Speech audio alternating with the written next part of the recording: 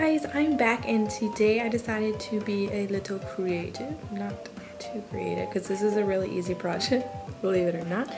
Um, and uh, do a little geeky craft video for you guys. I have a couple of ideas um, planned for future videos as well. But if you guys have any ideas for this, um, feel free to send them to me, leave them in the comments.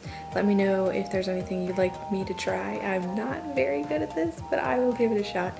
Um, today, I'm going to be making Yoshi eggs. um, Yoshi is one of my favorite Super Mario characters, uh, aside from Boo and uh, Goombas.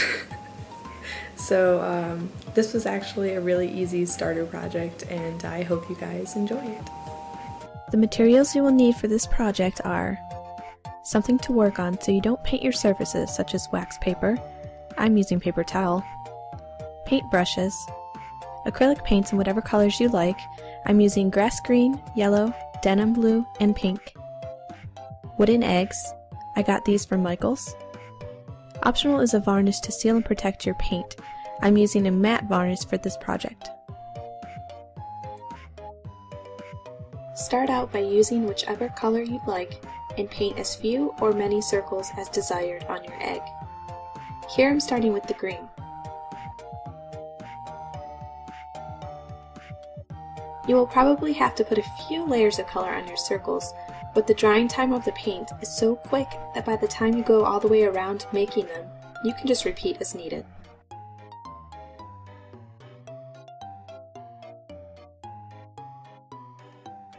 I found that making circles was easier if you rotated the brush in one spot. Here I'm using angle brushes. I'm not too sure how well that would work with the round tip ones.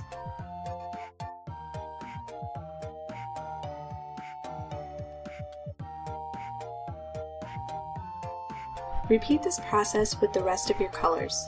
Again for my project, I chose yellow, denim blue, and pink in addition to the grass green.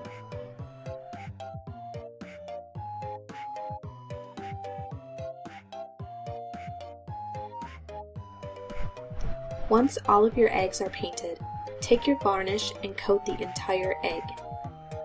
This will protect your paint. Repeat this on each of your eggs.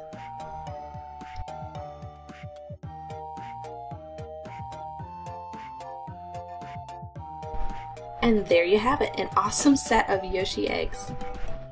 I hope you enjoyed the video, and if you end up making these yourself, Please make sure to send me pictures. I would love to see your creations. And until next time, thanks for watching. Bye bye!